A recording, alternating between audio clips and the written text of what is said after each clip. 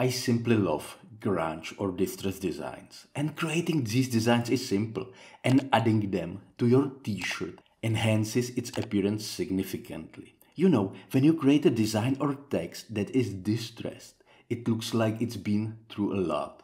It's not perfect and smooth. Instead, it has scratches, marks, and faded parts. This makes it look old and used. But it's made to look this way on purpose. It feels real and unique. When you wear a t-shirt with grunge text, it feels special. It doesn't look like every other t-shirt out there.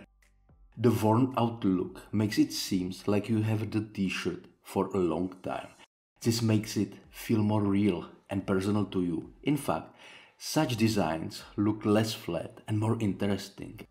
And many people use it for t-shirt designs, posters, or even Halloween decorations.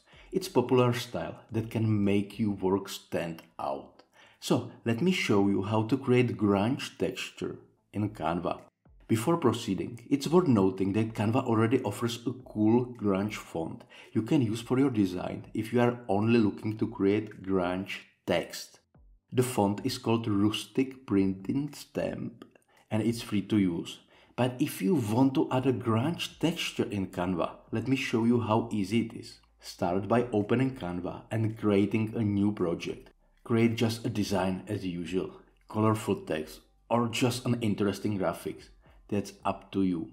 Once you have completed the design, go to the elements in Canva. Here, search for grunge or grainy. Then pick a grunge texture you like.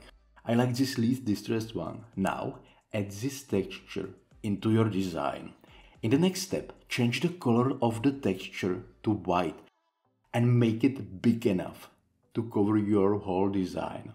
However, the issue with this design is that it would look unattractive when printed on a dark color t-shirt.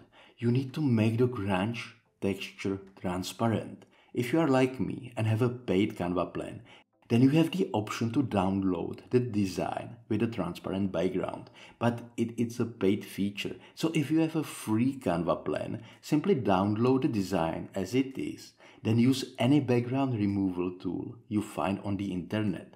So let's assume that you have the design with the grunge texture on a transparent background. If I uploaded it again on Canva, I can then test how it would look on any color background.